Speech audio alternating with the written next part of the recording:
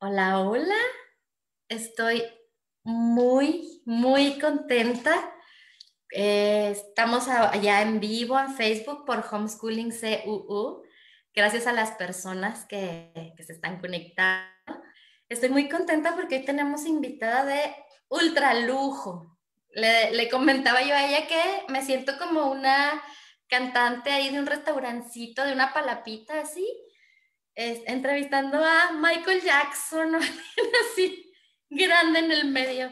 Este, no creo que necesite mucha presentación. Eh, la mayoría de las personas que iniciamos aquí iniciamos leyendo su libro, viendo sus videos, asistiendo a su curso de inducción, de introducción al homeschooling, eh, escuchando sus podcasts que traen mucha paz y mucha Em, tranquilidad a nuestra vida, que cuando empiezas en esto de, el aprendizaje sin escuela, pues híjole, estamos como, como si camináramos en gelatina, no sabemos ni qué hacer y pues ella se ha dado la tarea de, de marcar este, un camino para empezar, como abrir una puerta, ayudarnos a abrir la puerta de este universo y poder entrar con confianza, ahora sí, a elegir lo que a cada familia le corresponde. Entonces, pues no, no, no puedo, si me pongo a presentar así todo, yo creo que ya saben, este, les presento con mucha, mucha felicidad y con mucha emoción a Priscila Salazar. Hola Priscila. Ay, Cristina, qué linda. Muchas gracias, muchas gracias por esa presentación. Pues para mí siempre es un lujo y un honor conocer a papás y mamás que están comprometidos, porque una cosa es hablar y decir y subir fotos y escribir, pero otra cosa es llevarlo a cabo todos los días y enfrentarte todos los días con los problemas y con los niños y con la casa y eso no es cualquier cosa. Y para mí eso vale muchísimo, saber que cada mamá, cada papá, todos los días donde nadie lo ve, donde no se conoce lo que están haciendo, están haciendo un trabajo tan importante y tan trascendente con sus hijos y que están empezando a ver los resultados. Así que pues para mí también es un honor conocerte, saber los resultados tan hermosos que estás teniendo con tus niñitos adolescentes, como te decía hace ratito, ¿cuál mamá de adolescentes? Dice, mis hijos quieren cooperar, mis hijos me quieren ayudar, mis hijos me quieren platicar, para mí eso es un gran logro. Entonces, pues, muchísimas gracias. Me da mucho gusto estar aquí contigo y conocerte más. No, mira, incluso para hacer estos lives, es, hijos, voy a tener un live, estoy bien emocionada, no sé qué. Allá, por favor, voy a cerrar la puerta y todo. Sí, sí, sí, sí. Qué Padre. qué padre, qué padre. Pues empecemos, Priscila. A mí siempre me gusta empezar por preguntar así como los orígenes. Sí. ya sabemos que, que, tú en determinado momento fuiste tú misma desescolarizada y eso me encanta. Sí. Este, ¿Estuviste en la escuela hasta cuándo? Yo estuve en la escuela hasta el primer semestre de la carrera de diseño gráfico me metí, estuve dos meses porque nosotros dejamos la escuela como en noviembre, entramos como en septiembre, como en noviembre la dejamos, entonces hasta ahí llegué, llegaron mis estudios eh, formales. Polarizado. Eh, pero Priscila, es increíble, o sea, es como fuera de órbita pensar desescolarizarte en segundo semestre de la carrera. Sí. ¿Qué pasó? ¿Qué, qué? ¿Qué pasó? en esa época eh, bueno, fueron varias cosas, pero lo principal es que en esa época conocimos a algunas familias americanas que educaban sin escuela y para y nosotros estábamos pasando por un momento de mucho distanciamiento, de mucha rebeldía de la adolescencia. Entonces, mis papás eran conscientes pues de ese problema, pero como que no tenían muy claro exactamente qué hacer con nosotros. O sea, querían acercarse, querían eh, pues resolver el problema, pero no tenían muy claro. Entonces, conocer esta forma distinta de vivir, ver el resultado en los muchachos, ver cómo eran estas familias, pues obviamente les abrió un panorama muy grande a ellos y ellos lo vieron inmediatamente como, como una herramienta, ¿no? Como como lo que decíamos hace ratito, si no tenemos las limitaciones de horario, de obligaciones, de tener que salir, de estar distanciados, si podemos estar todos juntos bajo el mismo techo, podemos pues tener este acercamiento, ¿no? Podemos reconectar y recuperar a nuestra familia. Y sí, eh, fue un proyecto muy eh, difícil, muy raro. Eh, cuando mi papá nos dijo esto, obviamente nos sonó súper extraño. Este, pues teníamos toda una reputación, cada quien en la escuela, con sus amigos, el, este como anhelo de que mi carrera y, cómo la voy a dejar, pero el ver el deseo de ellos, lo que ellos querían realmente, que no era vamos a hacer homeschooling o vamos ahora a estudiar desde la casa o para que tengan sus certificados más pronto. No, no, o sea, su anhelo era estar cerca, recuperar nuestra relación familiar y que ustedes tengan tiempo para desarrollar todas sus habilidades, no nada más lo que se hace en la escuela. Entonces, el escuchar ese, esos anhelos de ellos y ver su convicción y ver que estaban dispuestos a hacerlo, a llevarlo a cabo, incluso ellos también dejaron proyectos y emprendimientos que ellos tenían en ese momento, pues para poder estar concentrados en, su familia, pues obviamente que eso nos convenció, ¿no? Aunque era una idea bien loca, pero era como, sí, sí queremos hacerlo.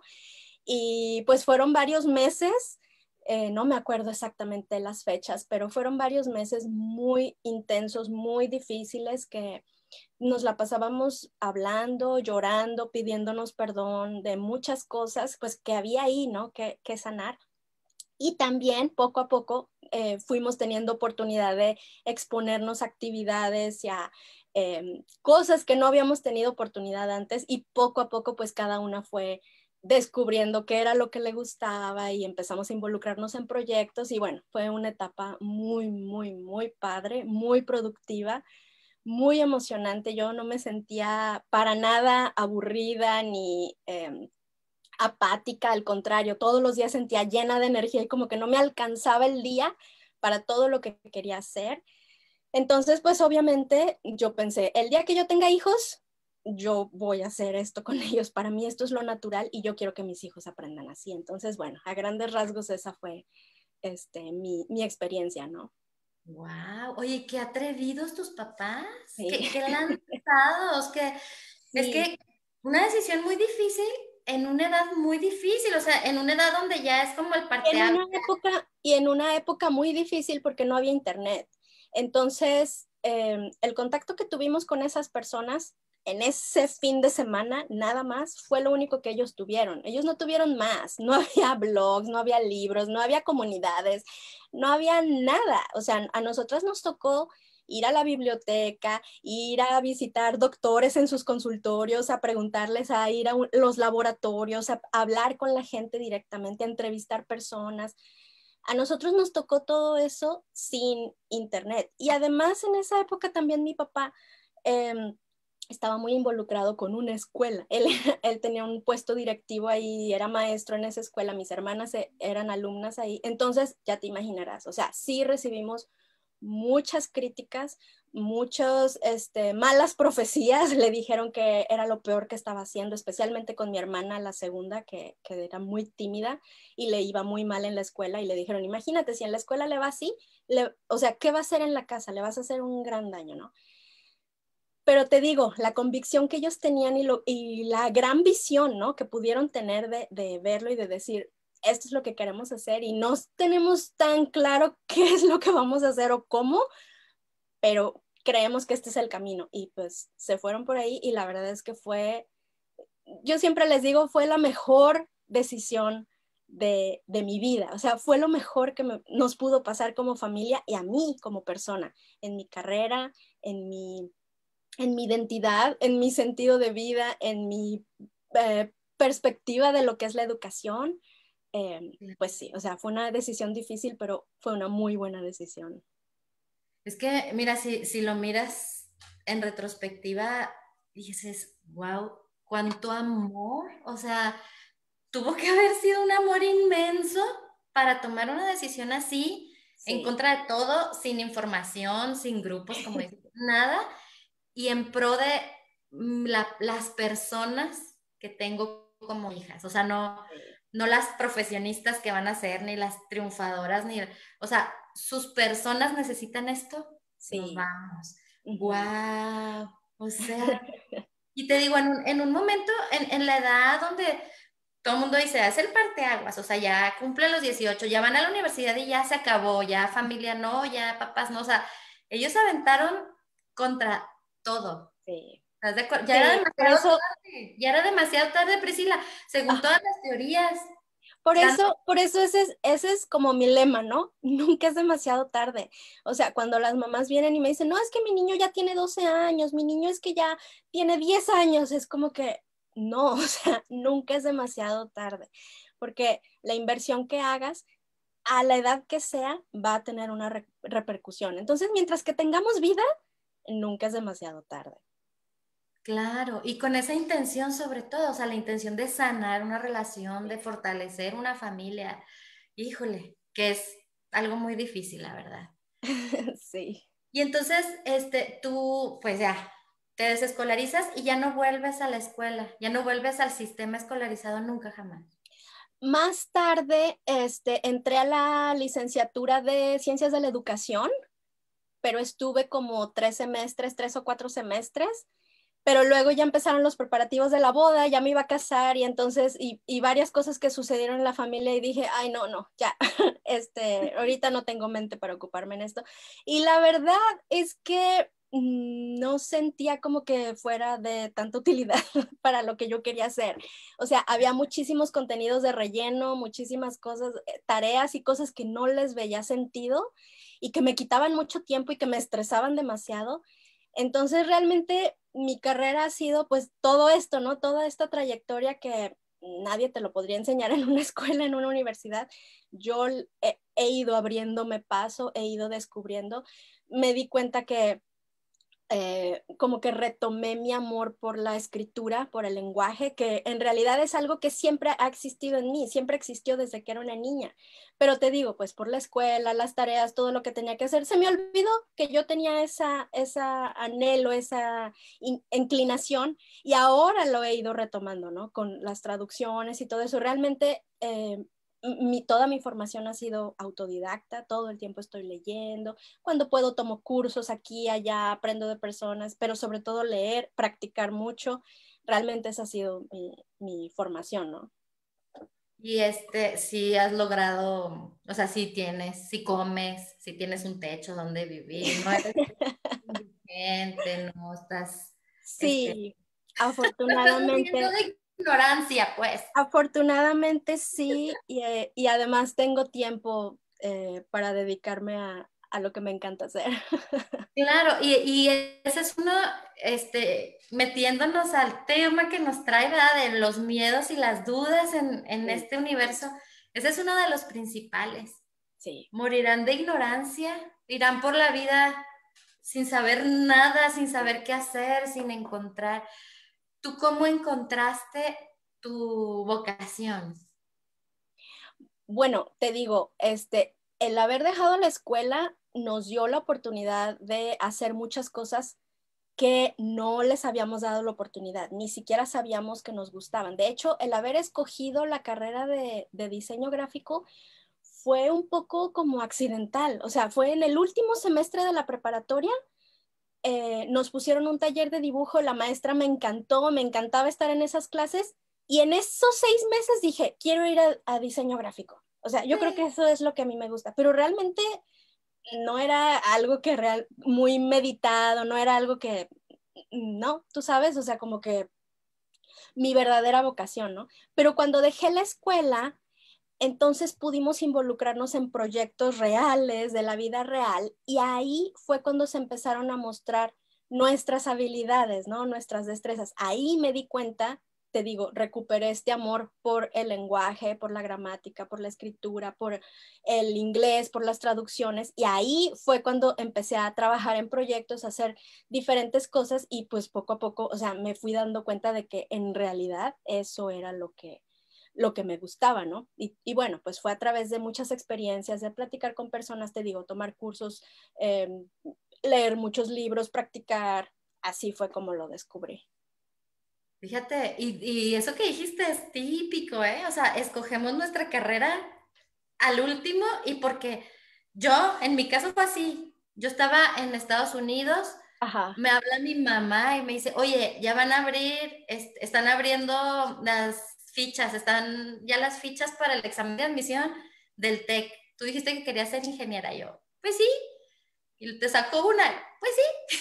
¿De qué? Imagínate, imagínate, o sea, entonces, ¿dónde está, dónde está la, la esa importancia tan grande que le damos a la carrera si realmente muy pocas personas se, se, dedican a lo que estudiaron, ¿no? Realmente cuando terminas la carrera es cuando empieza tu verdadera educación, tu verdadera búsqueda. Hay tantas personas ahorita de 40 a 45 años apenas descubriendo lo que realmente les gustaba y dedicándose y reinventándose. Entonces, a mí se me hace así como ese, ese temor que tienen las mamás de, ay, no va a poder o no va a saber. O sea, tienes toda la vida para descubrirlo. Y más si tú le das la oportunidad a los niños desde que son chiquitos, que no tienen ninguna obligación, ninguna responsabilidad de tener que ganar dinero o, trabajar o lo que sea, tiene todo el tiempo del mundo y que se pueda dedicar a explorar qué es lo que me gusta y a probar un montón de cosas, así como luego nosotros de adultos lo queremos hacer, pero para nosotros ya es muy difícil porque tenemos responsabilidades y obligaciones y una casa que mantener y nos queda tan poquito tiempo para dedicarnos a nuestros hobbies, ¿no? A las cosas que realmente nos apasionan. Pero los niños tienen todo el tiempo del mundo, entonces, ¿qué, o sea, ¿qué ventaja tan grande les podemos dar? que desde chiquitos puedan hacer esa búsqueda, ¿no? Sí, sí, sí, sí. Lo que pasa es que te digo, da, da como miedo porque pues la escuela es la escuela y nos han acostumbrado y nos han dicho que hay que ir a la escuela y hay que estar, o sea. Pero fíjate que realmente ese es el problema, que nos han dicho, nos han eh, metido ese miedo, ¿no? O esa Em, no sé, como que si eres lo suficientemente perseverante y paciente para aguantar todos esos años y al final llegas y logras tener ese papel en tus manos, entonces ya tienes el éxito garantizado, ¿no? Pero a mí eso se me hace como una falacia, porque como te digo, realmente el verdadero aprendizaje está en todo lo que haces y cuántas cosas de las que sabemos y que nos sirven para nuestra vida diaria las aprendimos en la escuela. Realmente la mayoría las aprendimos en la vida real, enfrentando problemas, equivocándonos, regándola y volviéndola a intentar. Y, ahí es donde adquirimos esos conocimientos que son tan valiosos para nuestro día a día, ¿no? Mira, eh. acabo de traducir un pequeño párrafo de, un libro que estoy leyendo de John Hall que se llama Instead of Education, que quiere decir en vez de educación, que me encantó y, y lo puse aquí porque lo quiero leer. Está bien interesante lo que él dice. Dice, la idea de que todo lo importante se debe aprender en la escuela es muy nueva. Fíjate, este concepto ni siquiera se tenía hace un tiempo, ¿no? Apenas de unos años para acá se tiene este concepto. Hasta hace poco, la mayoría de la gente comprendía muy bien que si bien algunas cosas se podían aprender mejor en la escuela, otras se podían aprender igual o mejor fuera de ella. Y muchas definitivamente no se podían aprender en la escuela. Se habrían reído de la idea de que todo el conocimiento y la sabiduría se pueden encontrar o poner en las aulas y en los libros. Incluso ahora, la mayoría de las personas que piensan que todo debe aprenderse en la escuela no aprendieron allí la mayor parte de lo que saben. En mi caso, o sea, está hablando John Holt, no solo no aprendí en la escuela la mayor parte de lo que sé, sino que no lo aprendí en lo que la gente llama situaciones de aprendizaje, es decir, experiencias en las que entras para aprender algo. Yo no hago ninguna de las actividades que hago para aprender algo he aprendido mucho sobre música y cómo hacer música asistiendo a ensayos y conciertos, pero no voy a ellos para aprender sobre la música, sino porque amo lo que veo y escucho ahí. En mis breves visitas a otros países o a otras partes de mi país, he aprendido muchas cosas sobre esos lugares, pero no fui allí para aprender, sino para ver gente y hacer cosas.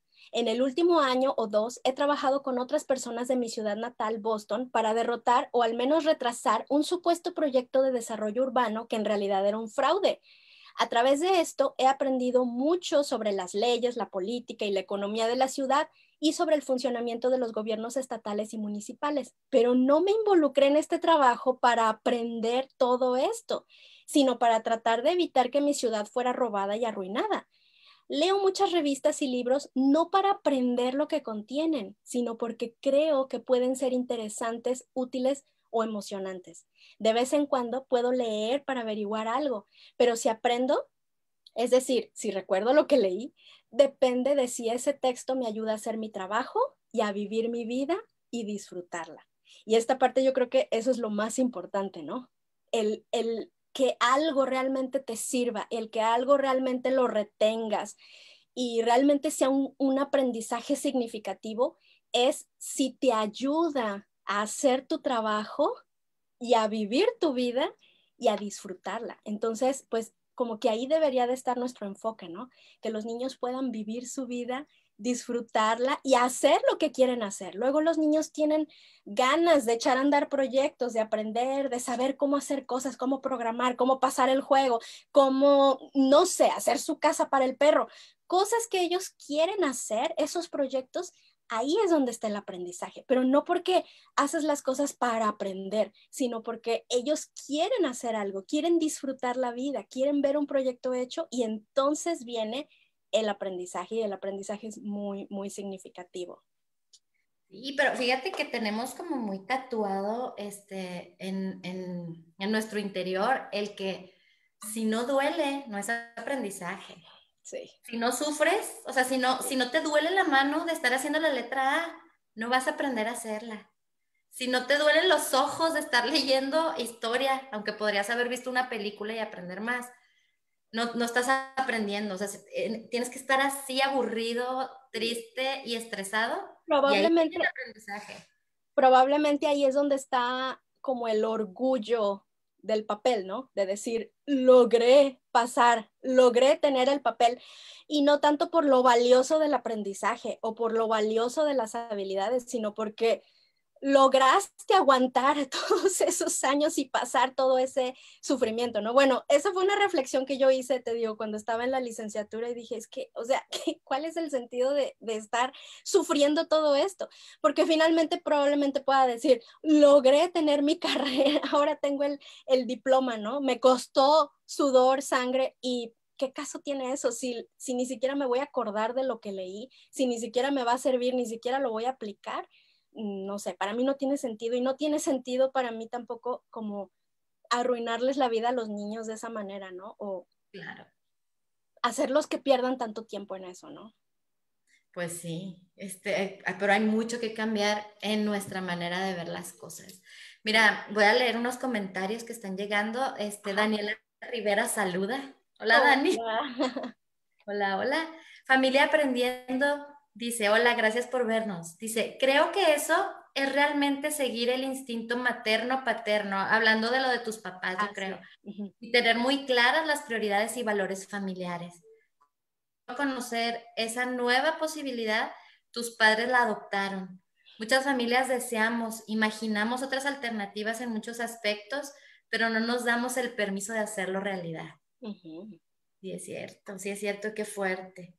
Y Rocío Fraire nos está viendo. Hola Rocío, gracias por, por vernos. Vayan preparando sus preguntas porque se nos va de volada este, este momento. Y entonces, este, ¿qué te parece si vamos viendo las preguntas que a mí se me ocurrió así como lo, los miedos más comunes, lo que siempre escuchamos, lo que yo misma este, he sentido, las dudas, los miedos. Yo creo que si no sentimos dudas y miedos, pues algo está mal en nuestra cabeza, ¿no? Siempre, siempre da miedo, siempre dudamos y siempre hay que ir buscando. El miedo es bueno también, el miedo bien enfocado. Sí. Este, la primera pregunta sería, ¿y si no soy capaz de enseñarles porque yo no sé todo? Sí. Me quiero aventar en este mundo, pero es que yo no sé todo, o sea, yo no tengo la, no tengo la carrera, no sé pedagogía, no soy maestra, no voy a poder. Sí, bueno, eso tiene mucho que ver con lo que hemos estado hablando este, ahorita, estos últimos minutos. Eh, yo creo que realmente nadie lo puede saber todo, ni los maestros. Los maestros cuando van a dar una clase tienen que leer qué es lo que van a decir y, repasarlo, ¿no? Porque no podemos retener tantos datos. Eh, y yo pienso que es una falacia eso de que alguien lo puede saber todo. Y, y además, ¿para qué alguien querría saberlo todo? Si todo lo tenemos en Internet, si todo está ahí muchísimo mejor que, lo que podría estar en nuestra mente, ¿no? Y yo creo que más bien lo importante no es como los datos, el conocimiento, sino las habilidades y las destrezas que te permiten adquirir lo que sea. Porque eso sí, yo veo que hace poquito hice una publicación que por más información que tenemos ahora, que somos la, época de la humanidad, de la historia de la humanidad, en que más acceso a información tenemos, pero parece como que no nos sirve de nada, ¿no? Porque seguimos tomando pésimas decisiones como humanidad. Entonces, realmente el enfoque no debe estar en la información o en los datos, sino en saber qué hacer con ellos, en saber procesarlos.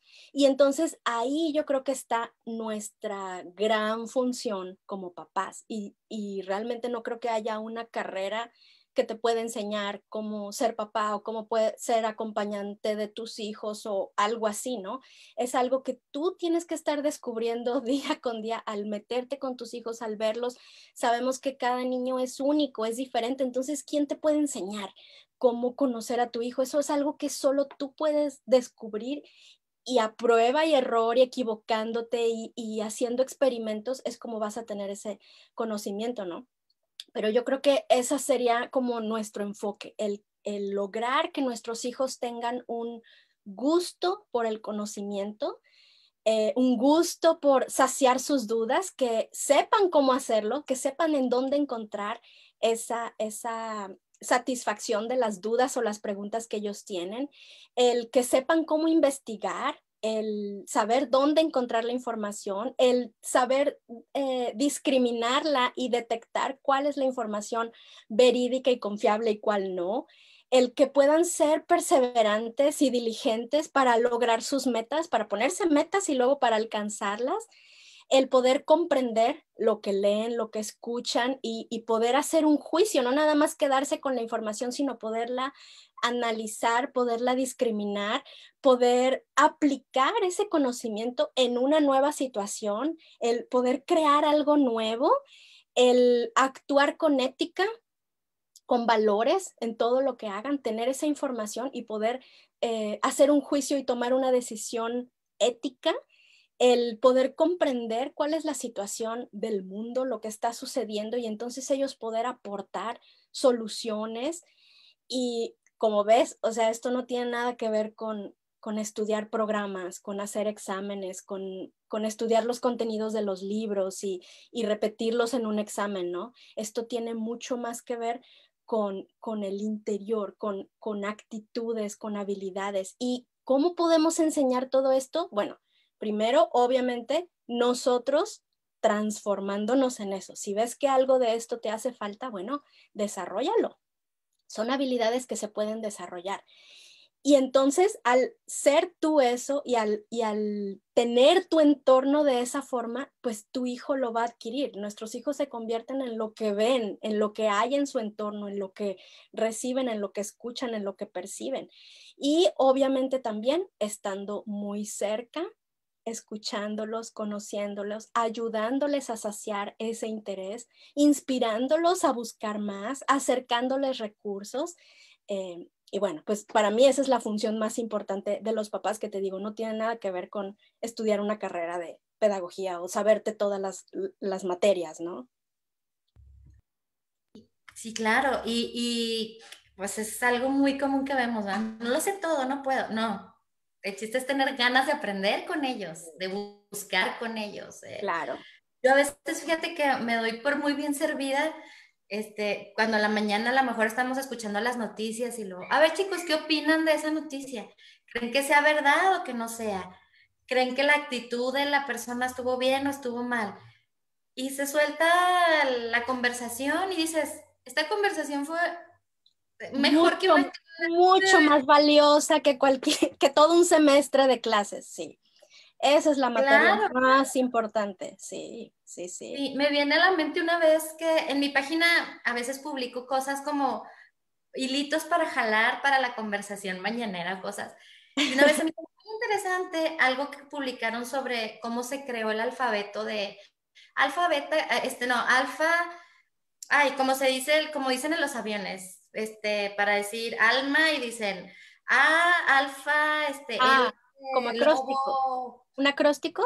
Sí, un acróstico. Entonces, venía ahí la historia y cómo se creó y cómo se fueron conformando esos alfabetos ya univers bueno, mundiales y todo. Ajá. Me hizo muy interesante. Y empecé, miren muchachos lo que me encontré, este, léelo mientras hago yo el desayuno y empezaron a leerlo y lo... Pero entonces en la Primera Guerra Mundial, ¿cómo le hacían? Y entonces los países, ¿cómo? ¿Y qué fue lo que desató la Primera Guerra Mundial? ¿Cuál fue? O sea, ¿dónde estaba la peleadera? Y, y se ponen... ¿Quién contra quién? Y ya, tienes, y ya tienes material para todo el día, ¿verdad? para toda la semana. Sí, pero no les interesó lo de las letras. Yo que estaba muy emocionada y, que y que entonces en los libros dice que el asesinato no sé quién, pero cuál era y por qué se estaban peleando y cuáles eran los play. Y ya, o sea, clase de historia. Bien, gracias. Así es como funciona, así es como funciona. Y no tiene nada que ver la actitud receptiva y curiosa y abierta que tienen a que si tú llegaras una mañana y les dijeras, hoy toca ver la Primera Guerra Mundial, y es algo que ellos ni se lo han preguntado, ni, ni han pensado en eso, y qué actitud van a tener como, ay, qué flojera, y nada más están anotando y contestan el examen y luego ya no se acuerdan de nada. Exacto, no, porque hasta ellos mismos, o sea, ellos se preguntaban entre ellos, ahí estaban con los teléfonos a gorro, pregunta y pregunta, maravilloso. Vamos a la segunda pregunta. Sí. Dice, Híjole, esta, es, esta, fíjate, es algo que a mí así me, me quita el sueño a veces, ¿eh? Y si terminan siendo adultos indisciplinados y sin buen propósito en la vida, ¿por qué? Porque también nos enseñan, y lo traemos muy, muy, muy bien grabado, la disciplina. O sea, levantarte a una hora, llegar a una hora, comer a una hora, ir al baño a una hora, y entonces eso es la disciplina, y entonces mis hijos no están obteniendo eso. ¿Y si, y si no logran dominar la disciplina? Hay una pregunta que a mí me gusta mucho hacerle a la gente porque me gusta mucho ver su cara. ¿Qué pasaría si ahorita todos los niños del mundo les dijéramos, ya no tienes que ir a la escuela, ya, se acabó eso? ¿Cuántos niños de todos los que ahorita van a la escuela se levantarían en la mañana y se arreglarían y se sentarían a estudiar por motivación propia, sin que nadie les dijera, sin que tuvieran esa obligación. Tal vez algunos cuantos sí lo harían y yo creo que hay niños que les gusta estudiar, pero la gran mayoría no lo harían por motivación propia. Entonces, ¿en dónde están los resultados de toda esa disciplina? que se les ha estado ahí machacando día con día, día con día, pero el día que quitas eso, no queda nada, porque toda esa machacación, toda esa disciplina es externa. Realmente no es algo que los niños quieran hacer o busquen hacer. La verdadera disciplina y la verdadera responsabilidad viene con responsabilidades reales, con objetivos y proyectos reales y personales. Cuando tú quieres lograr algo, cuando tú te pones una meta, te digo, se te hace como que el día no te alcanza para hacer todo lo que tienes que hacer, incluso estás dispuesto a hacer cosas desagradables, piensa en tu negocio, ¿no? Los emprendedores que ponen su negocio están tan emocionados que hasta se desvelan y se levantan temprano y no les importa tener que hacer cosas aburridas como de contabilidad o como de impuestos o todo, porque es lo que están viendo es un objetivo más allá, una meta más allá y tienen esa perseverancia y esa responsabilidad para alcanzarlo. Entonces, nuestro enfoque debería de estar no en, en todos los días que tienes que hacer, en la obligación, sino en que nuestros hijos tengan esos objetivos más grandes, ese propósito, esa inspiración que sea lo suficientemente fuerte para que tengan las ganas de levantarse cada mañana y seguir avanzando hacia sus proyectos. Y obviamente también em, tenemos, nuestro entorno tiene que tener esos em, hábitos y esa como rutina para que ellos puedan desarrollar la responsabilidad. Pero yo pienso que la responsabilidad se desarrolla, te digo, en, en necesidades y en responsabilidades reales, como por ejemplo el cuidar nuestra casa, el lavar nuestra ropa, lavar los trastes. ¿Por qué lo hacemos? Porque tiene una utilidad inmediata y una utilidad tangible que los niños pueden ver y que los niños pueden dedicarse a eso, ¿no? A ser responsable y ver los resultados inmediatamente. Pero cuando queremos enseñar eh, responsabilidad con aprendizaje, que en realidad son tareas académicas, con ejercicios, con cosas, muchas veces no pueden ver la relación que hay con el resultado. El resultado es muy ambiguo o muy a largo plazo. Entonces, ellos no sienten esa necesidad o esa razón de hacerlo y por eso es que es tan pesado y tan difícil comprometernos a hacerlo. Pero cuando vemos la utilidad, cuando vemos el resultado, fácilmente queremos contribuir, como lo que me contabas ahorita de tus hijitos, ¿no? Obviamente tenemos que comer, mi mamá está cocinando, yo vengo y le ayudo y soy responsable y muestro esa, ese gusto y esa diligencia y ese querer eh, colaborar, ¿no? Claro, y fíjate que bien, este, bien notorio eh, cuando se meten ellos a un curso que ellos quieren ir, ahorita que están muy de boga los cursos online. Este, mi hijo, que de 13 años se metió a un curso que les hablan de ciencia y Marvel, superhéroes de Marvel, si, si lo que realmente hace, por ejemplo, el traje de Iron Man, si realmente es viable en la vida real, porque sí, porque no. ¿Y sabes cuándo es? Es el domingo a las 9 de la mañana. Y se levanta. y nadie le dice. Nadie le dice y se levanta y de repente yo me levanto y ella está en, su curso. Claro, claro, porque es algo que le interesa y es algo que nace de él y le ve la utilidad. Claro, así es como funciona la responsabilidad. Claro, y, cuando yo vi eso dije, híjole, qué, padre. ¿Quién va a pensar tomar un curso en domingo y en la mañana? Sí. Pues, pues el que tenga ganas. El que tenga ganas, exacto. Este, tercer pregunta. Sí. Ay, esto es bien común y si no pueden relacionarse correctamente con las personas de la vida real. Está muy, muy fuerte el concepto de los sacas de la escuela y los metes a una burbuja. Y cuando esa burbuja se reviente, ¿qué va a pasar con ellos? No van a saber cómo relacionarse. ¿Qué nos puedes decir al respecto? Pues mm, primero habría que definir quiénes son las personas de la vida real, porque para mí, ah, estar encerrado en un lugar ocho horas diarias con las mismas personas y que son solo de tu misma edad, a mí no me parece que eso sea tan real o tan natural, ¿no? En nuestra sociedad, ese es el único escenario en donde vemos esa situación. Realmente en ningún otro escenario social en la sociedad real vemos eso, que estemos encerrados con gente, con la misma gente y de nuestra misma edad. En una sociedad hay gente de todas las edades, hay gente muy distinta de diferentes clases sociales, e, etcétera, ¿no? Entonces, eso es, eso es así como lo que te preguntaría, ¿no? ¿Dónde está ese aprendizaje con la gente real y cuándo van a aprender a convivir con todo tipo de gente, con adultos, por ejemplo, con ancianos, con niños. Eh, conozco adolescentes que no saben ni siquiera conversar con sus abuelos o con sus tíos o con sus primitos chiquitos. No tienen ninguna, es más, ni siquiera saben conversar con los mismos compañeros de su salón. Solamente pueden conversar y tener una relación con, con, su bolita de amigos, ¿no? Que son cinco o seis, nada más, y de ahí no salen.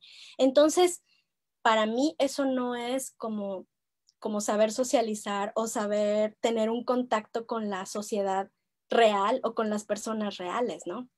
Ahora, para mí, saber relacionarte bien no depende de la convivencia con mucha gente o poquita gente o, o el entorno o el lugar, sino en tener destrezas sociales. Y esas destrezas sociales, la mayoría de nosotros las fuimos aprendiendo y algunos no, algunos sí, con los golpes de la vida, ¿no? Vas aprendiendo que cuándo debes hablar, cuándo no. Em, pero yo pienso que al tener a nuestros hijos, nosotros, así como marcas un objetivo para tu familia, lo que les quieres dar, los valores que quieres enfatizar en tu cultura familiar, también puedes marcarte qué destrezas sociales tú quieres darles. Y entonces aprovechas cada situación de cotidiana de tu hogar y también de las situaciones que puedas aprovechar fuera de tu hogar para estar enseñando deliberadamente esas destrezas sociales. Por ejemplo, cuando todos los conflictos con hermanos, todos los niños que tengan hermanos, se pelean y se pelean muchas veces al día. Entonces, todos esos conflictos para mí son un laboratorio de prácticas, ¿no? Ahí les puedes enseñar cómo negociar, cómo hablar, cómo tomar turnos, cómo pedir perdón, escuchar, expresar sus sentimientos sin agredir a los demás o en las situaciones fuera de casa, por ejemplo, cuando tenemos reuniones con familiares, con amigos, tíos, primos, pues ahí también les enseñas a saber escuchar, a estarse en la mesa, a saber estar en una conversación, a ser líderes, a saber trabajar en equipo, a cuidar a los débiles o en los lugares públicos cuando vamos a la biblioteca, al súper, al museo, pues también ahí les estás enseñando a, a tener una actitud cívica, a seguir instrucciones a participar, a respetar, a hacer sugerencias con respeto. Eh, o, en los tratos con personas que prestan servicios o con nuestros clientes, si los tenemos con nosotros, ellos también pueden beneficiarse de ver nosotros cómo nos relacionamos con la gente, ¿no? Con nuestros clientes, con nuestros empleadores. Entonces, que ellos vean cómo negociar, cómo dar un buen servicio, cómo ser honesto para mí esa es la verdadera socialización, que te digo, no tiene nada que ver con estar todo el día juntos con muchos niños que luego ni siquiera haya quien pueda moderar o pueda estar al pendiente de lo que está pasando ahí, ¿no? Sino que nosotros, eh, conociéndolos y sabiendo lo que cada niño necesita, pues tú puedes armar como una estrategia de socialización y equiparlos con, con verdaderas destrezas y habilidades que les van a ayudar, ¿no? Fíjate, me viene a la mente, este, justo ahorita que estabas diciendo todo esto, es que es en la familia, no, nomás, no nada más los niños, también nosotros adultos, es en casa donde somos quienes somos, donde nos quitamos el maquillaje, donde nos, nos vestimos como nos gusta vestirnos y donde actuamos como realmente somos.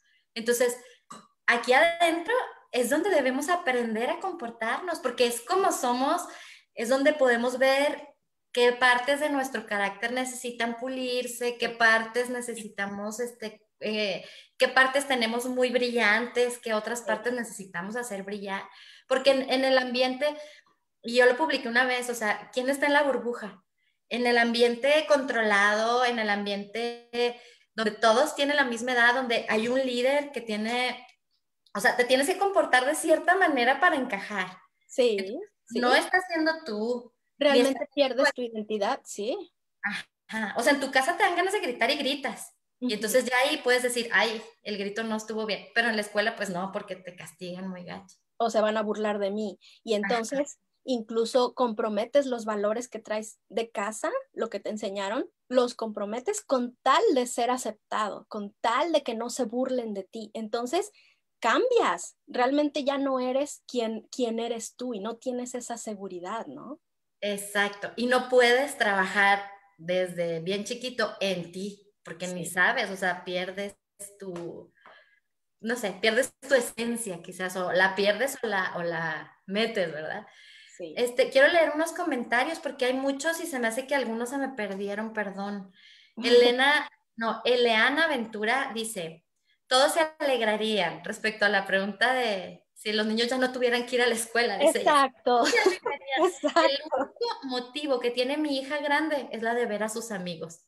La mayoría, ¿eh? Extraño Entonces, ¿dónde está la responsabilidad, no? Y no extrañan la escuela, si, si ahondas en, en, extraña mucho la escuela, extraño mucho a mis amigos. Extraño el relajo. El relajo, claro. Dice Rocío Villaseñor, los míos nunca, respondiéndole Ileana. Ileana, y para el caso de mis homeschoolers, he tenido que parar vacaciones porque ya quieren retomar los estudios en casa. Exactamente, exactamente. Y oye, yo tengo un grupo de investigación, hacen investigaciones y exponen y, son niños homeschoolers y escolarizados. Y ah, qué padre. Una vez a la semana. Y ayer les les decía, chicos, ya están cansados. ¿Les gustaría que nos tomáramos unas dos semanas de, receso? y ellos, ¡No! Bebé. Bueno. Qué padre. Ingrid Enid dice, creo que los papás tenemos todo que ver para alentar la creatividad y la curiosidad. Nosotros no hacemos homeschooling, pero siempre motivamos a nuestros niños. Eh, tenemos microscopios y vemos bichos y todo lo que ellos quieren ver. Hacemos caminatas al aire libre, respondemos preguntas como por qué las rocas son de diferente color. Qué padre. Yo creo que más que la escuela, lo que debemos estar más preparados para ellos y seguir motivándolos somos nosotros los papás. Exactamente. y eso era lo que eso era lo que yo le decía, te decía a ti, Cristina, hace rato. Que realmente la diferencia no es la escuela o no la escuela, sino nuestra participación, el entorno que les damos, nuestra actitud, lo, el ejemplo que estamos modelando para ellos, ¿no? Eso es realmente lo, lo que marca la diferencia. Claro, hay, muchos niños que están en la escuela y que tienen una educación abiertísima y que sus papás involucrados y maravilloso. Como que están en la escuela en casa y sus papás cero involucrados y todo mal, o sea, no es... Como que dices, mejor que se vayan a la escuela porque al menos ahí tienen, están expuestos a otras cosas, ¿no? Otras personas, a otras experiencias, por lo menos que se vayan, ¿no? Sí, sí, sí, sí. Ahí al menos aprenderán algo. Dice, tener bien claro que educamos seres humanos, no robots. Híjole, eso es importante. No, no estamos metiendo datos en una máquina. Estamos formando seres humanos. Eh, dice Eleana Ventura, en cuanto a los hábitos, hay tanta verdad y debemos encaminar las conversaciones, el quehacer de la vida diaria hacia ese hábito. Una vez lo entienden, no hay por qué pelear. Exacto. No, de hecho, no hay por qué pelear. Exacto. Aurora CT dice, me encanta cómo transmites tu perspectiva, Priscila. A mm. raíz de la pandemia te descubrimos como familia y para nosotros ha sido muy inspirador seguir este camino con tu experiencia y enseñanza. qué muchas gracias. Qué padre, muchas felicidades. Sí, qué lindo, ¿eh? Y es que te digo, o sea, eres inspiración para muchas familias. Se me hace que ni te imaginas el impacto, Priscila, que tienes este, para tantas familias. Ahí va la número 4 de 5. Así que si tienen preguntas, denle porque ya mero terminamos. La 4. ¿Y si no van al mismo ritmo que los niños de su edad? ¿Y si no aprenden todo lo que todos los niños de su edad ya saben? Y digo saben porque... ¿Por cuánto tiempo lo saben? Dos semanas. Ajá, mientras que, mientras que no venga el examen. Bueno, eh, yo pienso que si, si, tu, si tu intención y si tu objetivo es hacer lo mismo que se hace en la escuela y que tus hijos sepan lo mismo que en la escuela y vayan al ritmo, es válido, lo puedes hacer, pero entonces defínelo. Y entonces marca un plan para que lo puedas hacer díselo a los niños, háblales, diles que esa es tu intención, que ese es tu objetivo, que eso es lo que quieres hacer y lleven sus fechas, lo que tienen que hacer todos los días y sean diligentes en hacerlo. Yo pienso que en mucho menor tiempo, bien enfocados y con, nuestra, con nuestra participación, con nuestra dirección, se puede hacer muchísimo más que lo que se hace en la escuela. Y de hecho, las familias que, hacen escuela en casa, o sea, em, específicamente, y que llevan un programa y que llevan los programas incluso de la escuela, tienen mucho mejores resultados que en la escuela. ¿Por qué? Pues porque los papás están presentes, porque están ahí con los niños, les resuelven dudas, se programan, son diligentes y te digo, en muy poquito rato, no sé, en unas dos horas, sin distracciones, pueden avanzar lo mismo que, que en la escuela en seis u ocho horas, ¿no? Entonces, nada más eso, tenerlo bien claro. Si lo quieres, si eso es lo que quieres hacer, entonces defínelo y habla con tus hijos y prográmense. Ahora, la mayoría de las familias no queremos hacer lo mismo que en la escuela. La mayoría de las familias tenemos otros objetivos y nosotros vamos a nuestro propio ritmo porque le estamos dando prioridad a otras cosas, no a esos contenidos, no a esos programas, sino más bien lo que te decía, ¿no? A habilidades, a actitudes, a otro tipo de destrezas. Por ejemplo, para mí es mucho más importante el trabajo en equipo entre ellos, entre mis hijos, ¿no? El que, el que sepan acoplarse, el que tengan actitudes de esto de resolución de conflictos y todo eso, el que sepan colaborar en la casa, el que ellos sepan administrar un hogar, que puedan tener... Em, sus propios proyectos que les generen ingresos, que sepan cómo trabajar, cómo negociar, cómo tratar con personas, cómo ponerse metas. Para mí eso es mucho más importante que a que puedan, a que cumplan los, los programas de la escuela, ¿no? Pero cada familia puede tener sus propios objetivos y para cada familia va a haber cosas más importantes y a las que les quiera dar prioridad. Y eso es lo, lo rico de esto, que no podemos estandarizarnos, sino que cada familia va viendo dependiendo de su visión, dependiendo de sus características, dependiendo de lo que ellos desean y anhelan, entonces se pone sus, sus propios objetivos, ¿no? Entonces, para mí esto sería lo importante. Define qué quieres para tu familia y enfócate en eso. Y no sientas ansiedad de que las demás personas están haciendo cosas distintas. Claro, todos estamos haciendo cosas distintas y todos estamos avanzando a diferentes rumbos a diferentes eh, ritmos. Entonces tú enfócate en lo que tú quieres, en lo que tú estás construyendo, en, en, el rumbo que tú elegiste y no te agobies, no, no te no sientas ansiedad, sino más bien sé diligente y enfócate en eso, ¿no? Importante, mira, este, si te da mucha, mm, si le das mucha importancia a que sigan los programas establecidos de educación, dale, dale, o sea, no generes también en tu casa estrés y así. A la par que eso, puedes ir manejando muchos otros aspectos sí. que no podrías si estuvieran a lo mejor este, yendo a la escuela. O pueden estar yendo a la escuela, tú estás tranquila con eso y a la par, pues ir abriendo espacios para trabajar otras cosas. O sea, aquí hay, este, es un universo de, de posibilidades. Lucy Reyes saca un tema este, importante, fíjate, en ese yo no había pensado. Otra pregunta, dice, uno de mis miedos con el homeschool fue el tiempo personal. Como mamá de hijos pequeños me preocupaba no tener un espacio para mí. Sí. Pero en este primer año, haciendo homeschooling, en mi necesidad pude crear un grupo de apoyo de mamás es virtual, pero yo misma he aprendido en este camino a solucionar mis problemas, a socializar más. Fíjate. A este veces me va a absorber todo, todo el tiempo y toda mi, mi energía.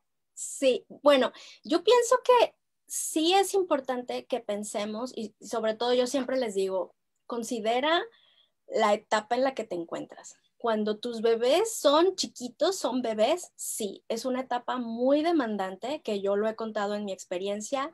Yo ni siquiera tenía una computadora ni un teléfono en esa época. Yo estaba completamente dedicada a ellos. Los primeros, no sé, seis, siete años de, de la infancia de mis, de mis niños, yo no hice nada más que estar enfocada en ellos. Y sí, fue una etapa muy, muy intensa, muy absorbente, pero también fue una etapa muy satisfactoria. Y ahora que están grandes, yo veo los frutos de esa inversión, ¿no? Entonces no hay que verlo como pérdida, como que me voy a perder. No, son unos años como en un negocio, cuando inviertes capital, pero luego viene la, la no sé cómo se dice. Eh, retribución. la retribución, ajá. Entonces, sí considera en qué momento te encuentras y considera qué quieres hacer, cuáles son los objetivos que quieres lograr y qué tanto de ti requieren. O sea, qué tan presente tienes que estar, qué tanto tienes que dar para que esos objetivos sean, eh, se cumplan, ¿no? Y en mi experiencia, mientras más inviertes al principio, luego poco a poco te puedes ir separando más y poco a poco te puede quedar, te va quedando muchísimo más tiempo para ti, ¿no? Porque ah, llega un momento en que ellos son tan independientes y que ellos están tan encarrilados en sus proyectos y en sus cosas que, que, ya no necesitan que estés ahí, ¿no? O sea, todo el tiempo tienes que estar ahí al pendiente, pero ya no con esa intensidad como cuando son chiquitos, ¿no? Entonces piensa, ¿cuál, cuál, ¿a qué le quieres dar prioridad en tu vida, ¿no? Claro, y pues igual como dices, buscar tu espacio si necesitas. Sí. O no si no lo necesitas, va. Eh, Anayeli Martínez, hola Anayeli, ella es muy participativa también en estos grupos, en estos lives. Y dice, estoy por empezar homeschool, por lo que me gustaría leer tu reciente traducción, pero no entiendo cómo funciona el Kindle. ¿Se puede imprimir? El Kindle, sí, pero no te lo recomiendo. Es mejor leer en el, en el, en el teléfono o en la computadora a mí se me hace súper práctico porque pues no tienes que andar cargando el libro en papel. sí, hay una, ah. perdón, hay una app, hay una aplicación de Amazon para lectura de Kindle, o sea, no necesitas tener el aparato, pues. No, no, no, en tu teléfono o en la computadora solo bajas la aplicación, es gratis y ahí bajas el teléfono y ahí lo ves, es súper práctico. Sí, muy bien. ¿Y cuál es ese libro, Priscila? Se llama Unschooling yo le puse un estilo de vida lleno de aprendizaje. La autora es Sarah McGrath. Ese libro lo escribió em, hace como 10 años y en él ella habla pues de su experiencia con el unschooling. En esa época sus niñitas, eh, la más grande tenía 8 y la chiquita era de brazos. Entonces cuenta toda su día a día, cómo es con ellas, em, con el unschooling, ¿no? Para mí ese libro fue eh, pues muy importante porque fue así como una como un puente entre la teoría y la práctica, ¿no? Yo estaba leyendo los libros de John Hall que a veces pueden ser como muy eh, elevados, además de que John Hall, bueno, él fue un educador y era un visionario que nunca tuvo hijos, entonces es muy diferente tener así como toda esa teoría tan elevada a ya en el día a día, yo qué hago con mis hijos que tengo aquí, ¿no? Entonces ese libro pues fue como eso, ¿no? Como ver cómo se ve el unschooling puesto en, acción, en el día a día. Y me parece un libro muy práctico, lleno de muchas sugerencias, de muchas recomendaciones. Es un libro cortito, este, pero muy conciso, muy bonito. Y pues por eso lo quise traducir, además de que yo eh, le tengo un cariño especial, ¿no? Porque fue de los primeros libros que yo leí sobre ese tema.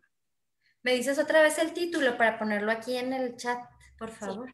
Unschooling, un estilo de vida lleno de aprendizaje, de Sarah McGrath. Estilo de vida. Perdón, pues soy muy lentita. No te preocupes. En mi web, sí, en mi web ahí está toda la información también, en supreescolar.com pueden ver la reseña. Ok, ahí ya lo tienen, en su preescolar también. A ver, este, pues vámonos a la quinta pregunta. Última oportunidad de que pongan sus preguntas y sus dudas. Nos vamos para siempre y ya jamás tendrán respuesta, no sé qué. Pero bueno, aprovechen a, este, a este referente de este tema que tenemos aquí. Dice, ¿cómo harán? Ay, esa me encanta, porque es súper común. A mí me la miles de veces respecto a mis hijos, al gran mal que les estoy haciendo por haberlos sacado de la escuela. Sí. Este, ¿cómo van a hacer para acostumbrarse al mundo cruel si no han vivido el bullying? ya sé. Bueno, se sabe que el, el maltrato daña al cerebro y puede provocar enfermedades mentales. Entonces yo me pregunto, ¿por qué querríamos que los niños se acostumbren al maltrato y al abuso? Eh, en el libro menciono un, ejemplo que me gusta mucho. Alguna vez se lo escuché a una mamá, no me acuerdo a quién, y ella dijo, eh, deberíamos de respirar del escape del coche todos los días para acostumbrarnos a la contaminación que hay en el mundo? Obviamente no, pero tener este pensamiento de que tenemos que acostumbrarnos a lo malo porque hay cosas malas en el mundo, es así, ¿no? Yo pienso que no sería mejor enseñarles que eso no es normal, que eso no está bien y más bien ayudarlos a verlo desde otro punto de vista y más bien enseñarlos o motivarlos a transformar eso. ¿Por qué tendríamos que acostumbrarnos a eso? Y ahora, por otro lado, el, el vivir continuamente el abuso no necesariamente te enseña a enfrentarlo o evitarlo. ¿Cuántos casos de mujeres que finalmente sus maridos las, las matan, las llegan a matar y toda una vida de abusos, toda una vida de maltratos? ¿Y para qué? Finalmente termina en, un final fatal, ¿no? Entonces, ¿qué caso tiene vivir todo el tiempo con ese abuso? Igual en la escuela, tantos niños que sufren e incluso llegan al hospital por maltrato y abuso. Entonces, ¿cuál es el objetivo de que nuestros hijos vivan eso y que se acostumbren a eso? Yo pienso que más bien es prepararlos para que puedan enfrentar esas situaciones si les llega a tocar, que ellos sepan qué hacer en esa, en en esa situación, ¿no? Por ejemplo, ah, cuando los queremos enseñar a cruzar la calle, pues los enseñas. Cómo cruzar la calle, les enseñas que vienen coches y que se fijen y que se esperen, pero no dejas que lo atropellen, no dejas que vaya y, ah, mira, para que aprendas que pasan coches por ahí. No, o igual ah, cuando lo enseñas a usar la estufa, no lo estás quemando todo el tiempo para que, mira, para que aprendas que la estufa está caliente y te quema. No, lo enseñas, le muestras, mira, está caliente, ten cuidado, no vayas a poner tu mano aquí. Y lo enseñas a que sepa enfrentar esa situación, que sepa manejarla. Entonces, en, en el bullying es lo mismo, les enseñas cómo enfrentarlo, les das estrategias deliberadamente, como te decía. Y bueno, algunas de ellas serían como fortalecer su autoestima. Y sabemos que una persona que está sufriendo abusos continuamente, su autoestima se debilita. Entonces, ahí lo estás, al contrario, lo estás desprotegiendo para que pueda enfrentar una situación así. Pero si tú continuamente lo estás fortaleciendo desde adentro, él tiene una identidad bien definida, una seguridad en sí mismo, es más difícil que sea víctima de bullying. Y cuando alguien lo trate mal, inmediatamente lo va a saber identificar, porque él está acostumbrado a ser tratado con amor, con respeto. Él sabe que es una persona valiosa. Entonces, cuando alguien venga y le diga algo, él va a saber detectarlo y que de hecho es la experiencia de muchos de nosotros. A mí me ha pasado, a mis hijos les ha pasado sufrir eh, abusos de otros niños y ha sido muy, muy emocionante y muy padre ver la reacción de ellos, ¿no? Que no fue algo que les afectara, que no fue algo que los eh, sorprendiera, sino que ellos supieron manejarla y supieron incluso ubicar al agresor, ¿no? Así como que, eh, tranquilo, calmado, aquí no nos vamos a tratar de esa manera, ¿no? Entonces, eso, o sea, enseñarlos o fortalecer su autoestima para que muestren seguridad. Otra cosa sería que, que no se enojen y que no lloren, que sepan cuando alguien les hace eso, que ellos tranquilos, el problema es el del agresor, no de ellos, entonces no tienen por qué enojarse. Y bueno, esto es algo que se puede practicar mucho en casa con los conflictos que tenemos entre hermanos. Eh, otra cosa es que ellos sepan que pueden hablar, que pueden levantar la voz cuando alguien los está agrediendo o incluso cuando ven que alguien agrede o lastima a otras personas. ¿Y eso cómo lo enseñas? Dándoles esa voz, que ellos estén acostumbrados a que si algo no les gusta, que si algo los lastima, que si algo no, no están de acuerdo, ellos pueden hablar y pueden decirlo continuamente. Si ellos saben que en su casa son escuchados, que ellos pueden decir lo que opinan, entonces van a poder hacerlo afuera también y van a poder detectar esas situaciones, ¿no?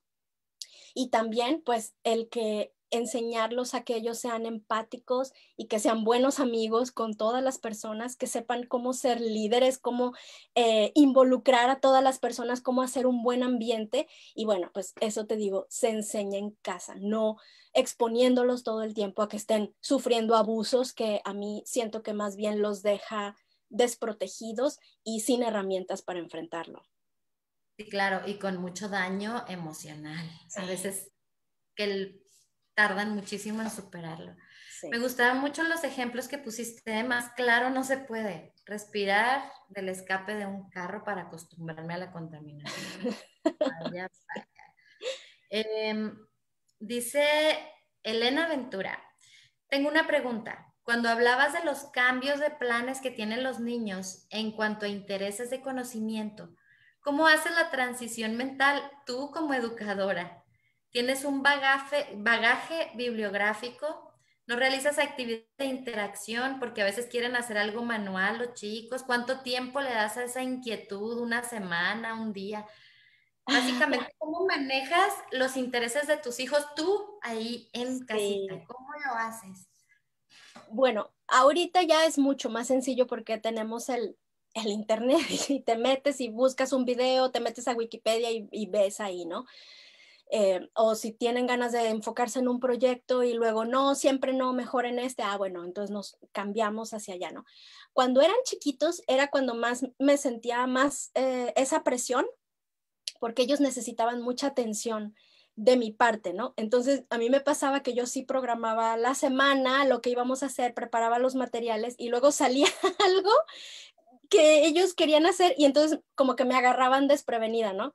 Ahí sí fue un reto más grande. Lo que yo trataba de hacer era como tener material eh, por adelantado. Los sábados me ponía a hacer así mucho material, entonces tenía mucho material como de reserva, cosas, juegos que yo pensaba que les podían interesar y se los iba sacando así como dosificados. Y muchas veces sí me pasaba que me preguntaban algo y decía, ah, tengo un material aquí que tú no conocías y se los sacaba, ¿no? Es cuestión de organización, pero sobre todo es cuestión de ser muy flexibles, de no pensar en términos de de, ay, me desbarataron mi programa, ¿no? Ahora qué voy a hacer, sino eh, pensar que lo más importante no es cumplir el programa, lo más importante es lo que ellos están haciendo y aprovechar el momento, aprovechar la curiosidad, aprovechar el interés que tiene en ese momento y pues ser muy ágil para improvisar, para sacar materiales, para ver recursos donde donde tal vez nadie los ve, pero tú le das otro enfoque, ¿no? Mira este bote, mira esto de la cocina y sacas algo y, se lo presentas, ¿no? Ay, estás en mute. Perdón, aquí tenía un movimiento. Este, esta, estaba a título personal. Entonces, tú planeabas, ah, preparabas material y todo, y luego ya te hiciste la mentalidad de, por si no tiene nada, por si no se les ocurre nada, yo ya tengo como un plan B. Sí, aunque yo no trabajaba, yo no trabajaba con, con, un programa, o sea, como que vamos a ver estos temas, sino más bien mm, lo preparaba más bien como tipo buffet. O sea, tenía en, la, en el en, la mesa del comedor atrás tenía un mueble con cajas y con un montón de materiales, entonces como que cada semana se los iba cambiando eh, de acuerdo a lo que yo veía que eran sus conversaciones y sus intereses, entonces les iba poniendo cositas que pensaba que les iban a interesar. Y te digo, yo tenía así como que siempre material de reserva o cosas, o me encontraba cosas en internet y las iba guardando, links, cosas así. También ahí tiene mucho que ver tu, tu organización, ¿no? Para que sepas bien dónde están las cosas, porque me pasaba luego que decía, ay, ¿dónde guardé ese material? ¿Dónde guardé ese dibujo? Y ya, o sea, en lo que lo encuentras, ya se te pasó el tiempo, ya los niños ya quieren hacer otra cosa, ¿no? Entonces es mucho como de flexibilidad, pero también de organización de una, ¿no? O sea, de preparar cosas con, con ventaja y tener bien este, organizadas tus cosas que sepas dónde están. Ok, también dice Elena, pregunta, ¿Cada cuándo revisas tus objetivos de aprendizaje para comparar con la media? ¿Lo haces? ¿Los proyectos acreditarlos en grados? ¿Qué, qué, qué? cada 28 días cuando me llegan los días difíciles, que me, que me pongo a llorar y que pongo a decir, no, lo estamos haciendo súper mal, es cuando tenemos una conversación mi esposo y yo y entonces recordamos cuáles son nuestros objetivos y vemos cómo hemos avanzado y me doy cuenta que no, vamos bien, vamos bien. Me acabas de aliviar mi corazón, porque también como cada 28 días me replanteo la vida completa. Todo esto está mal, este, no, no es posible, todos van a la escuela de vuelta.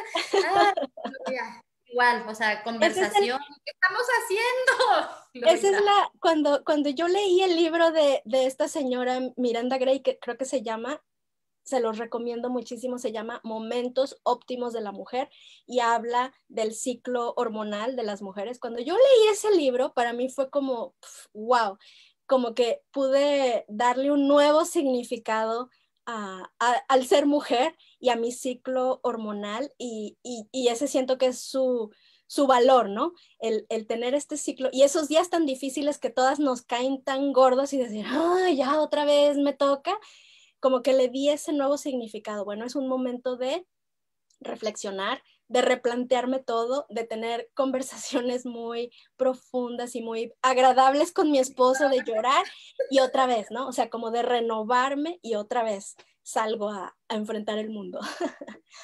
Mira qué alivio. No, no, soy la única loca del mundo.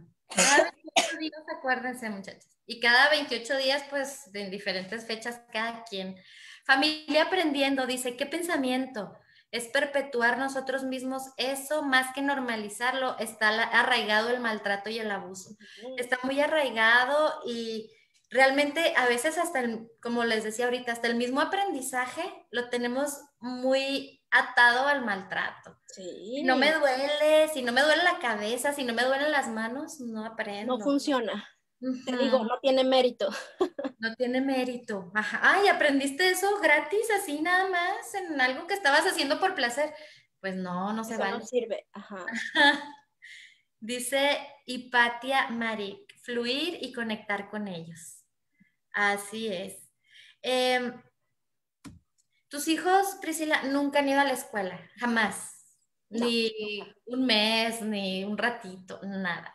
¿Alguna vez? Un día, cuando Mateo el mayor tenía dos años, a la vuelta de, la casa de mis papás había un kinder. Entonces, por pura curiosidad, fui con él y dije, a ver, a ver si, este, qué, cómo son las clases o qué hacen. Y fue bien chistoso porque eran, o sea, mi niño tenía dos años, pero no sé, bueno, claro que mamá gallina, pero mi niño yo lo veía muchísimo más maduro y aventajado que los demás niños, ¿no? Los demás niñitos traían pañal para empezar, él ya avisaba. Y luego este, los pusieron a colorear con crayolas y los niños así como que comiéndose las crayolas y, y mi chiquito así como dibujando bien, bien derechito y todo. No sé, o sea, varias cosas así que, que, yo pensé, ¿cuál es el sentido? O sea, venir y, y, ponerlos aquí así como que con todos, que con este caos y, ay, no sé, como que me salí y dije, no, mm, estoy segura de lo que estoy haciendo. Qué padre, o sea, un día de experiencia de escuela. Un día, sí, nada más un día. Maravilloso. Y ellos ahorita que ya están grandes, ¿no te han planteado la posibilidad de ir a secundaria, a la preparatoria, algo? No, no. Para nada. No, y sí hemos, sí hemos hablado, hemos tenido conversaciones eh, interesantes con ellos. Nosotros les hemos dicho, bueno, nosotros tomamos esta decisión cuando ustedes eran pequeños y no podían tomar esa decisión, pero ahora ustedes ya están en, uso de sus plenas facultades mentales, así que ¿Qué, ¿qué, opinan de esa decisión? ¿no? no vayan a decir luego, ay, mis papás loquísimos, quién sabe qué hicieron con nosotros y nos obligaron, nos recluyeron en la casa. Y no, o sea, siempre es como que no, o sea, fue la mejor decisión, estamos contentos, nos gusta mucho tener esta libertad. Eh, no, nunca, nunca lo han visto de otra forma.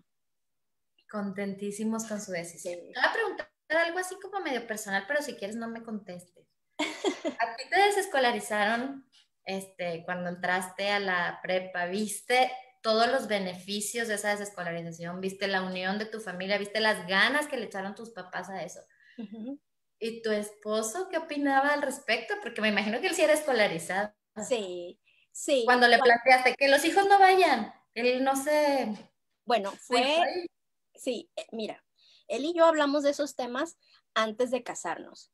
De hecho, o sea, cuando nos conocimos, bueno, él y yo nos conocimos en la prepa, pero nos reencontramos ya después de todo este proceso, ya habían pasado como ocho años, y entonces obviamente a él le llamaba mucho la atención cómo era nuestra familia, ¿no? Cómo éramos nosotras, cómo pensábamos, y obviamente, o sea, le parecía muy atractivo, ¿no? Entonces, eh, ya cuando empezamos a hablar de, de matrimonio o así como de más cercano, más cercano él y yo, este obviamente fue de los primeros temas, que yo también me interesaba saber cómo pensaba él, ¿no? ¿Tú qué perspectiva tienes para una familia o para la educación de los hijos y así? Y hablábamos de esto. Al principio sí fue para él así como, ay, qué ideas tan raras tienes, pero en varias conversaciones, este, ya, o sea, y, y para mí era muy importante, obviamente, si yo iba a entrar a una relación y iba a empezar un proyecto familiar con alguien, obviamente para mí era este un tema fundamental en el que teníamos que estar de acuerdo.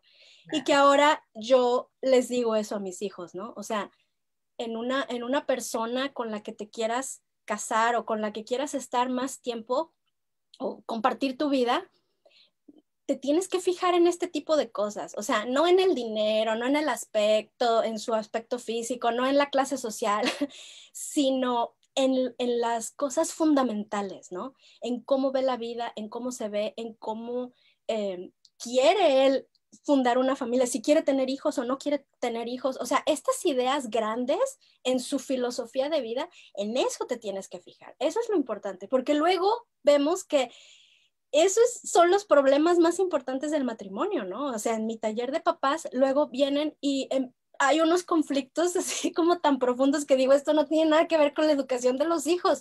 Esto es de que no se sentaron a planear qué querían hacer o por qué querían vivir juntos, por qué querían emprender una vida juntos, ¿no? Entonces, eh, bueno, o sea, no, mm, sí al principio él tenía ideas así como difícil, pero Mm, rápido eh, las cambió y antes de que nuestros hijos nacieran estábamos seguros de lo que queríamos hacer. Cuando tú, a ti te surgen estas dudas, cuando empiezas a, cuando empieza la cabeza loca, él te ayuda a ver. Y eso es lo curioso, eso es lo curioso, que aunque yo, o sea, obviamente yo estoy muy convencida, pero él tiene una mente más libre, más eh, desescolarizada. Yo soy más cuadrada, yo soy más académica, yo soy más así y yo soy la que tengo más dudas y ansiedad y, me preocupo mucho. Entonces él me ayuda mucho a equilibrar esa parte y me recuerda. O sea, la verdad es que sin él, no sé, para mí hubiera sido muy difícil. Sí, claro. Yo cuando, cuando estábamos tomando esta decisión, sí, este, pues está, yo tenía dudas, ¿va? Y, todas estas que vimos ahorita, y si yo no sé suficiente, y si no les puedo enseñar, y si todo, todo. Y recuerdo que, que mi esposo me dijo, no podrían tener una mejor maestra que tú. Y eso me, híjole, o sea, y a veces que tengo muchas dudas, me viene esa palabra, porque él, yo jamás pensé que él fuera a estar de acuerdo con esto. ni yo pensé que yo fuera a estar de acuerdo con este estilo de vida. Y el hecho de que él haya dicho eso me, Qué lindo, o sea, me, puso en un lugar privilegiado, la verdad. Sí, sí, tienes que, sí, tienes que valorarlo mucho porque no todas las, las parejas, o no todas las mamás pueden tener esa fortuna de que, su, de que su esposo esté de acuerdo y que las apoye y todavía que las admire. Es una gran fortuna. Sí, sí, estuvo muy, muy padre. ¿Qué recomendarías para familias que a lo mejor el papá quiere que se desescolaricen, pero la mamá mm, tiene muchas dudas o al revés? Tienen que ¿Tú qué recomendarías? Tienen que sentarse a hablar muchísimo. Y te digo, no se trata de homeschool o no, se trata de cuál es su proyecto familiar. En el taller de papás bueno, este es, este es así como el enfoque, ¿no? Darles esa oportunidad de que se sienten y hablen de esos temas importantes. Y a mí me encanta ver cómo después de hacer este ejercicio de hablar qué queremos para nuestra familia, no cómo vamos a hacer el homeschool, no, qué queremos para nuestra familia, cuál es nuestro proyecto familiar y cómo lo vamos a lograr. Muchas familias, después de ese ejercicio, bueno, se deciden, sí, totalmente, educar sin escuela es la herramienta perfecta para nosotros, pero también hay familias que dicen, no, me doy cuenta de que la escuela es una buena herramienta que nos va a permitir lograr nuestros objetivos y eso está perfecto. Aquí el punto es esa conciencia de saber qué estoy haciendo, por qué lo estoy haciendo, hacia dónde voy y qué herramientas quiero utilizar en el camino, ¿no? Entonces, hablen, tienen que hablar. Y fíjate, en el proceso de la desescolarización real, no el sacar a los niños de la escuela, sino en, en cambiar nuestros paradigmas de la escuela. Se me hace que eso es una de las cosas más importantes, Priscila, el ver, lograr ver a la escuela como una herramienta. Una herramienta. Claro. O sea, me sirve esa herramienta, me sirve para lo que, lo que queremos construir en, este, en esta vida.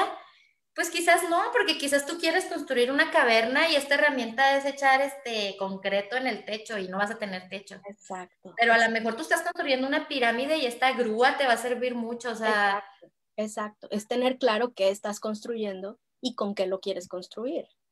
Exacto. Y como te decía, por ejemplo, en mi caso muy concreto, muchos hijos en diferentes niveles, con muchas actividades, no sé. A mí ya no se me acomodaba la escuela para poder conectar con ellos. Porque por el ritmo, nada más por el ritmo de vida, yo ya no tenía momento ni para platicar, ni para sentarme, ni para ninguna otra cosa. A mi familia se acomodó este estilo. Claro. Pero quizás tu familia no. Claro, claro. Es simplemente eso, sentarse y hablarlo. Dice Carla Cueto. Nosotros vamos bien el camino de educar sin escuela, pero mi hija mayor de 8 años me pide mucho socializar, que quiere tener amigas, que vea y con las que juegue a diario. No sé si regresarla al sistema porque veo que es demasiado importante para ella pues ahí te digo, depende de lo que ustedes quieran como familia. ¿Tú qué objetivos tienes para ella, para su desarrollo, para su educación? ¿Y crees que esa parte es crucial? ¿Y crees que esa es solamente, o sea, solamente con esa herramienta puedes satisfacer esa necesidad? ¿O hay otras formas de satisfacerlas? Yo en Facebook todo el tiempo estoy viendo eventos, reuniones, em, eh, eh, cosas que, las mamás crean, como lo que decías, ¿no? Para juntarse, para verse, para que los niños jueguen. Hay cosas maravillosas que, se pueden hacer con, en familia y, y, que los niños disfrutan muchísimo. Pero te digo, o sea, todo depende de tú qué quieres y cómo crees que lo puedas lograr. Claro que sí. Pues bueno, yo creo que es todo de preguntas, ya no está entonces, Priscila, para terminar, bueno, me gustaría dos cosas. Una, este, platícanos de tus cursos, de, lo que estás ahorita ofreciendo, de tu libro maravilloso. Este, tengo tres años, eh, tenemos tres años fuera del sistema aquí en mi casa. Lo acabo de leer, o sea, lo leí hace dos meses. No me había oh. dado la tarea, pero yo creo que lo leí en un momento muy ideal, este, el aprendizaje supraescolar. Está padrísimo. Me encanta el estilo, me encanta, fluye bien bonito tu libro y ejemplos. Ay, no sé, me encantó. Ay, qué padre. Este, me gustó mucho, me, me llegó al corazón una parte donde dices, la mamá es el termómetro de la familia. Y yo, ah, ya me lo habían dicho, ya me lo habían dicho, tienes que estar bien tú para que todo esté bien, no sé, pero cuando lo leí dije, ah, eso es lo que me estaban diciendo.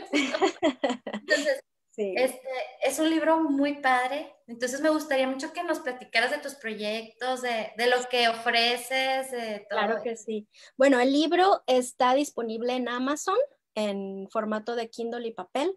El papel no sé qué le pasa a Amazon, que ahorita en México no está entregando, mm, pero está disponible en la librería Humani, que hace envíos a todo México. Pero fuera de México lo pueden conseguir en Amazon, en papel. Toda la información está en mi web, en www.supreescolar.com. Ahí pueden ver los enlaces y todo.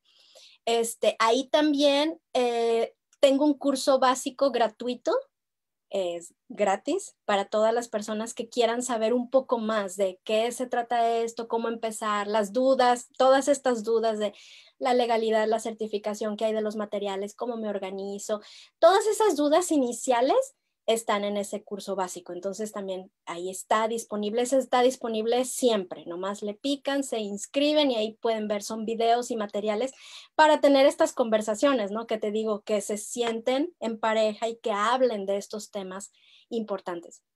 Y también tengo un taller de papás, ese sí es eh, ya para construir nuestro proyecto, ya, cómo lo vamos a hacer, cómo vamos a entrar a este proceso de transformación, que realmente no es un curso que te capacite o que te certifique que ya sabes, ¿no? Que, generalmente tenemos esta idea, ¿no? Como en la escuela, que aguantes todo ese tiempo, finalmente tienes tu papel y ahora sí, ya estás listo y, y se garantiza que tienes el éxito. No, o sea, yo pienso que cuando tomas la decisión es cuando empieza tu proceso, pero va a durar años y de hecho no se va a terminar hasta hasta que nos muramos, ¿no? Se termina ese, ese proceso. Siempre estamos aprendiendo, siempre nos estamos capacitando. Entonces, es un taller de ocho semanas para comenzar ese proceso, para comenzar a plantearte estas preguntas, a reflexionar, a ver qué es lo que en lo que tienes que trabajar, en lo que te tienes que enfocar. Y bueno, como es un, curso pues muy intenso, mm, tiene muchísimo material y también requiere mucho de mi, de mi participación. A veces las mamás me preguntan que si doy asesorías y, y, no, yo todo lo concentro en el taller, porque en el taller ahí estoy disponible completamente para que me pregunten lo que sea y estoy ahí respondiendo, tenemos sesiones en vivo. Entonces, pues lo abro pocas veces al año, ¿no? Porque necesito enfocarme. Entonces, precisamente ahorita eh, lo estoy anunciando. no lo he anunciado en mi página, pero acabamos de poner fecha el 19 de julio. Este, empezamos la siguiente edición, entonces el último día de inscripciones es el 12 de julio. Toda la información está en mi web www.suprescolar.com. Es un taller, te digo, pues para sentirte acompañado, para iniciar este proceso, para empezar a tener conversaciones en pareja profundas, para reflexionar y pues para eh, armar tu proyecto familiar, ¿no? ¿Qué es lo que quieres hacer con tu, con tu familia?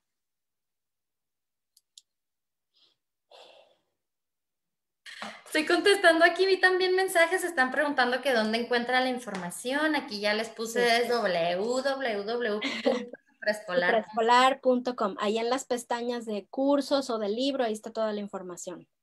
Perfecto. Dice Elena Ventura, el deporte para nosotros fue el medio de socialización en los chicos y son sociales. En cuanto a mi hija mayor que está escolarizada, no fue solo nuestra decisión, ella sabe por qué lo decidió hmm. y que por lo tanto debe cumplir con sus retos. Considero importante la decisión personal de los chicos y claro, claro, seríamos, sería lo mismo, o sea, un sistema impuesto el que les los forcemos, ¿verdad? A estar fuera o dentro de la escuela, lo que sea. Dice eh, Ada, hola Ada, qué gusto que nos estés viendo. Dice, muchas gracias Priscila y Cris. De nada. Fabián Guerrero pregunta cuál es la página y ya te la pusimos y ya la, ya la dijimos. Noemí García, Noemí, hace mucho que no te veo. Dice, qué gusto escucharlas y aprender tanto de ustedes. Son de gran inspiración, Ana y Priscila, mi admiración. Gracias. Qué linda. Eh, Anagli, hola Anagli. Anagli Arriaga dice, ¿dónde me puedo inscribir? En la página de su la página, ajá, supreescolar.com. Eleana, yo quiero el taller, pero aunque ya iniciamos, quiero nutrirme. Sí, claro, es que es, que el, chiste yo creo de, de esto de, de, estar fuera del sistema, nosotros nos salgamos del sistema y empecemos a tratar de aprender por los medios que nos sean útiles, ¿verdad? Sí. No, no esperar que, que me siento y a ver qué me dicen. Investigo, me meto un taller, a lo mejor me sirve, tomo lo bueno, quito lo que no me sirva. Bueno, ajá, pero pues no, ¿qué les puedo decir? Priscila fue desescolarizada, sus hijos están desescolarizados, este, ella vive este estilo de vida y pues yo creo que puede ser un, una guía muy padre para, para iniciar, para construir un proyecto. Sí. Este, Gracias. y como ella, pues hay otros. Hay que estar nada más bien atentos, ¿eh? porque en este tiempo de pandemia surgieron cantidad de cursos, cantidad de escuelas que ofrecen homeschool. Sí. ¿Cómo vas a aprender homeschool en la escuela? Pero bueno. Este, entonces, nada más mucho ojo, pregunten a las personas que saben, pregunten a las personas que ya estaban metidas en esto antes de la pandemia, para que tengan puntos de referencia. Y si a ti te convence una escuela homeschooling, pues va, está bien, pero infórmate muy bien, que no te engañen. Esto no es un sistema, esto no es un, un currículum, no es una manera de vivir, es crear un plan para tu familia, para sus circunstancias, para sus propios objetivos. Sí. Entonces, así, así, este, pues espero que quede claro. Si no hay ninguna otra pregunta, no me queda más que agradecer mucho, Ay. mucho eh, que Priscila pues se tomó el tiempo de platicar aquí con nosotros.